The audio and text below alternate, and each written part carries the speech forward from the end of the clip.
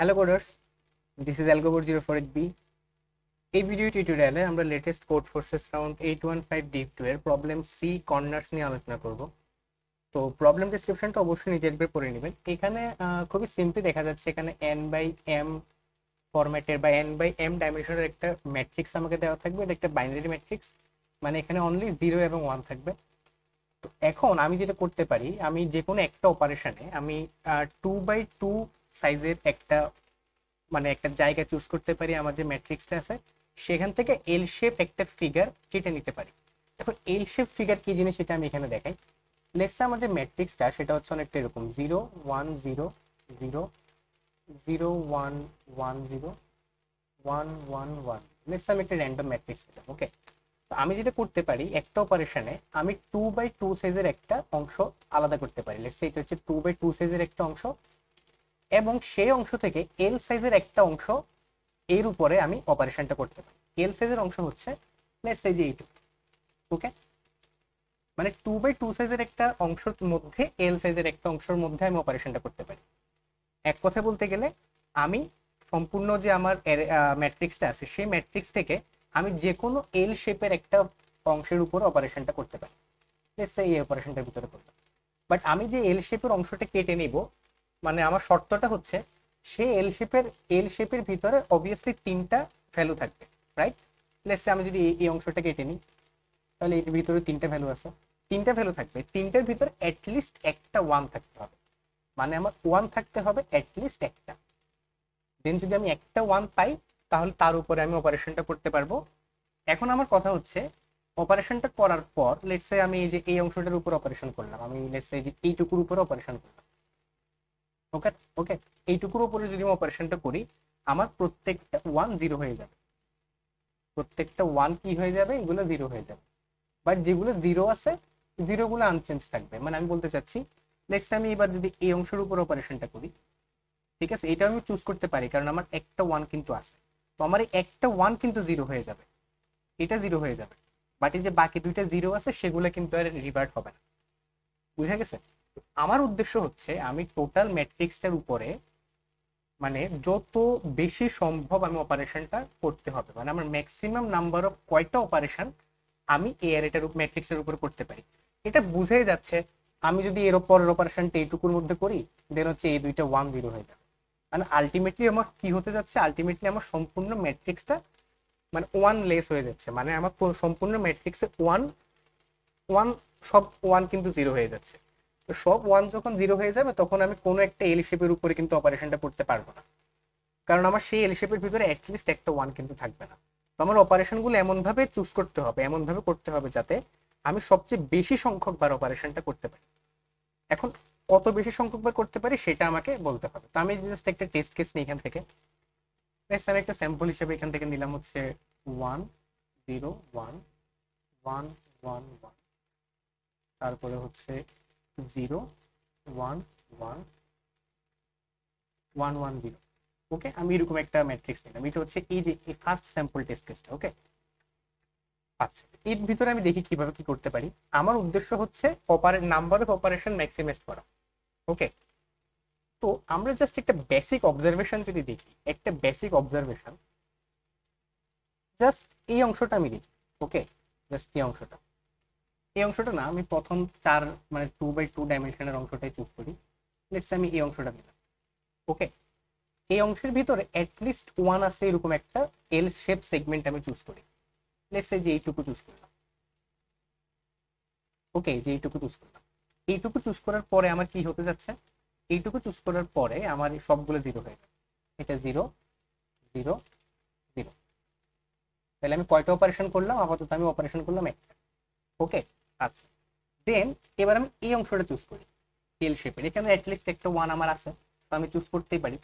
Choose করার পরে আমি যদি এই অপারেশনটা করি দেন আমার কি হবে? এখানে চলে আসবে জিরো এটাও জিরো এটাও জিরো ওকে তাহলে আমি কয়টা অপারেশন করলাম?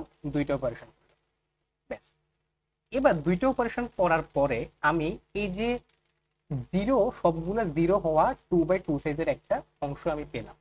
এবার আমি দেখি। এই যে এই অংশটা ব্যবহার করে আমি প্রত্যেকটা ওয়ানের উপরে একবার করে অপারেশন চালাইতে পারব। বুঝা গেছে?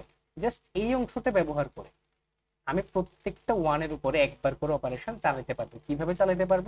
দেখাচ্ছি। সেটা হচ্ছে লেটসে আমি এই যে এই ওয়ানটার উপর আমি অপারেশন করতেছি, তাহলে আমি এই অংশটা চুজ করব। ওকে দেন কি হবে? দেন আমার হচ্ছে এই যে এই ওয়ানটা জিরো হয়ে গেল। আমি অপারেশন কয়টা হলো? অপারেশন হলো টোটাল তিনটা। ওকে এবার আমি এ ওয়ানটার উপর অপারেশন চালাবো। দেন হচ্ছে যে এই অংশটা চুজ করব। তাহলে আমার কি হবে? আলটিমেটলি আলটিমেটলি আমার যে এই ওয়ানটা জিরো হয়ে যাবে অপারেশন হলো চারটা। ওকে দেন হচ্ছে যে এ ওয়ানটা এ ওয়ানটার জন্য আমি এই অংশটা চুজ করি। এই অংশটা চুজ করলে আমার এই যে এ ওয়ানটা কি হয়ে যাবে? ওয়ানটা হয়ে যাবে জিরো তাহলে অপারেশন হলো পাঁচটা। দেন যে এ ওয়ানটার উপরে আমি এই এই অপারেশনটা করতে পারি।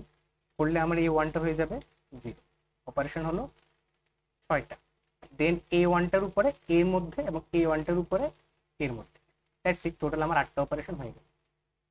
দ্যাট মিনস আমি একদম শুরুতে যদি ফিরে যাই, আমি জাস্ট একটা এরকম অংশ যদি পাই, যে অংশে আমার টু বাই টু সাইজের আমি একটা অংশ যদি পাই, যে অংশে চারটা জিরো একসাথে আছে, এরকম একটা ফরম্যাট যদি পাই, আমি সেই অংশটাকে ব্যবহার করে সম্পূর্ণ অ্যারেতে বাকি প্রত্যেকটা ওয়ানকে আমি একবার করে অপারেশন করতে পারব। বুঝা গেছে? তো আমার একদম শুরুতে আমার ম্যাট্রিক্সটা কেমন ছিল, আমি আবার এইরকমই তো ছিল রাইট আমার ম্যাট্রিক্সে ছিল অনেকটা এরকম। এখানে ছিল জিরো আর এখানে ছিল ওয়ান ওকে সো আমার অপারেশন হচ্ছে আমি যেটা করব, আমি যদি ভালো করে দেখি, তাহলে আমি একটা অবজারভেশন পেলাম। অবজারভেশনটা কি? আমার যে কোনো চার মানে এরকম টু বাই টু সাইজের যে কোনো একটা অংশ আমার খালি করতে হবে, যেখানে সবগুলো জিরো থাকবে। দেন ওই অংশ বাদে আমার যতগুলো ওয়ান আছে, প্রত্যেকটা ওয়ানকে আমি অ্যান্সারের সাথে অ্যাড করে দেবো ওকে আচ্ছা এখন এরকম একটা অংশ কীভাবে খালি করতে পারি সেই অংশের ভিতরে আমি কয়টা অপারেশন এভাবে করতে পারব? বা সেই অংশের ভিতরে কীভাবে অপারেশনগুলো আমি ম্যানিপুলেট করলে আমি ম্যাক্সিমাম আউটকাম পাবো?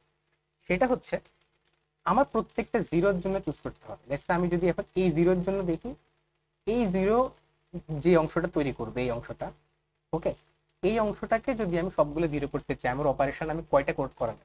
আর কয়টা ওয়ান আমার মিস হবে? কারণ আমি এখান থেকে যত কম ওয়ান ব্যবহার করব, পরবর্তীতে অ্যান্সারের সাথে তত বেশি ওয়ান অ্যাড করতে পারব রাইট সো আমার এমন একটা জিরো চুজ করতে হবে, যেটাকে ব্যবহার করে একটা এরকম টু বাই টু ডাইমেনশনের জোন তৈরি করার জন্য আমার সবচেয়ে মিনিমাম ওয়ান লাগে। আমার এই জিরোটা যদি ব্যবহার করি, আমার তিনটা ওয়ান মিস হবে ওকে এই তিনটা ওয়ান কিন্তু আলটিমেটলি জিরো হয়ে যাবে। দেন পরবর্তী যে এই ওয়ানগুলো, বাকি ওয়ানগুলো আমার অ্যান্সারের সাথে অ্যাড ওকে তো এই জিরো যদি আমি ব্যবহার করি, আমার ওয়ান খরচ হবে তিনটা। আর এই জিরো ব্যবহার করলে অপারেশন কয়টা করতে পারব? অপারেশন প্রথমে আমি লিস্টে এর উপরে করব। দেন হচ্ছে এটা জিরো হয়ে যাবে, এটা জিরো হয়ে যাবে। দেন এর উপরে করব, এটা জিরো হয়ে যাবে। ওকে অপারেশন পাবো আমি দুইটা। ওয়ান মিস হবে আমার তিনটা। ওকে তো আমার এই জিনিসটা গ্রিডিলি করতে হবে। তো আমরা যদি কোড দেখি জিনিসটা আরেকটু সিম্পলিফাইড হবে, আমরা কোড দেখতে দেখতে ওয়ার্কফ্লোটা বাকি ওয়ার্ক ওয়ার্কফ্লোটা কমপ্লিট করি। সবার আগে আমি এন এবং এম ইনপুট নিব। ওকে এন এবং এম ইনপুট নেওয়ার পর দেন হচ্ছে স্প্রিংটা ইনপুট নিব দেন হচ্ছে এন বাই এম সাইজে আর দেন হচ্ছে আমি তিনটা ভেরিয়েবল নিব। একটা হচ্ছে অ্যান্সার আরেকটা হচ্ছে ওয়ান্স মানে কয়টা ওয়ান্স আছে। আরেকটা হচ্ছে মিনিমাম কয়টা ওয়ানকে খরচ করে আমি একটা জোনকে জিরো করতে পারি। ওকে তো বাই ডিফল্ট আমি ফাইভ নিলাম। কারণ তিনের বেশি তো দরকার নেই, কারণ আমার একটা জিরোর জন্য চার, চারটা ভ্যালুর একটা জোনকে জিরো করতে আমার তিনটা অপারেশন লাগবে সর্বোচ্চ। তো আমি সেফটির জন্য মিনিমাম ইজিক্যাল টু ফাইভ নিয়ে রাখলাম এখন একটা কথা আছে লেটস সে আমার সবগুলো ওয়ান এমন একটা ম্যাট্রিক্স আছে, সবগুলো ওয়ান ওকে এখানে কি হবে? সেইটা হচ্ছে আমার অ্যান্সার তো কোনো জিরোই নেই। সেক্ষেত্রে আমি অপারেশন সবগুলো ওয়ান মধ্যে করতে পারব, দুইটা ওয়ান ছাড়া। প্রথমে এর উপরে করলাম। ওকে তাহলে আলটিমেটলি কি হবে? আলটিমেটলি আমার যে এটা জিরো হয়ে যাবে। এটা জিরো হয়ে যাবে, এটা জিরো হয়ে যাবে। অপারেশন করলাম আমি একটা দেন আমি এটার উপরে করব দেন এই যে আমার এটাও জিরো হয়ে যাবে। ওকে অপারেশন হলো দুইটা। ব্যাস, এবার আমি একটা ফ্রি জোন পেয়ে গেছি। ওই যে আগের অবজারভেশন দেন হচ্ছে বাকি ওয়ানগুলো অ্যান্সারের সাথে অ্যাড হবে। টোটাল অ্যান্সার হবে ওই যে বাকি ওয়ানগুলো অ্যান্সারের সাথে অ্যাড হয়ে ওকে আচ্ছা। এখন লেটস আমি ধরে নিলাম যে আমার এরকম একটা ফরম্যাট দেওয়া আছে যেখানে জিরো এক্সিস্ট করে। ওকে এখন যদি আমি এবার লুপ চালাবো আই থেকে এন পর্যন্ত দেন জে হচ্ছে জিরো থেকে এম পর্যন্ত, যদি কোনো একটা ভ্যালু ওয়ান হয়, আমি ওয়ানের কাউন্ট বাড়াবো কন্টিনিউ করব, আর কিছু করার দরকার নেই। আর না হলে হচ্ছে ওয়ান না মানে সেটা হচ্ছে জিরো আচ্ছা এখন একটা জিরো লেটসে আমার জিরোটা এখানে আছে। ওকে লেটসে আমার জিরোটা এখানে আছে। এই জিরো থেকে অ্যাকচুয়ালি কয়টা জোন আমি জিরো করতে পারি? একটা হচ্ছে এই জোনটা ওকে আরেকটা হচ্ছে এই জোন আরেকটা হচ্ছে এটা, আরেকটা হচ্ছে এটা। বুঝে গেছে? মিডলে যদি একটা জিরো থাকে, প্রত্যেকটা জিরোর জন্য আমার চারটা করে জোনই চেক করতে হবে। আচ্ছা এখন আমি দেখি এই জোনটা কখন পসিবল যদি I my I minus one greater equal zero হয় মানে এই অংশটা যদি এক্সিস্ট করে, এবং J minus one greater equal zero হয় মানে উপরের অংশটা যদি এক্সিস্ট করে দেন আমি এরকম একটা জোন পাবো, যখন আমার জিরো হচ্ছে এটা। তাহলে আমার I minus one J minus one যদি ওয়ান হয় কাউন্টের মান বাড়বে। মানে কাউন্ট হচ্ছে কয়টা ওয়ান আছে ওকে তো আমার এখানে I minus one J minus one কাউন্টের মান দুই, এখানে দুই ওকে এখানে দুই কাউন্ট আচ্ছা। এবার যদি আমি এই জোনটা কল্পনা করি দেন হচ্ছে কাউন্ট হবে থ্রি দেন আমি এই জোনটা কল্পনা করলে কাউন্ট হবে টু তো আমার মিনিমাম কাউন্টটা নিতে হবে, ঠিক আছে? আমি চারটা জোন পাশাপাশি কন্টিনিউ করব। প্রত্যেকটার জন্য আমার মিনিমাম কাউন্টটা নিতে হবে। আমি কোডের লিঙ্ক ডিসক্রিপশন বক্সে দিয়ে দিচ্ছি।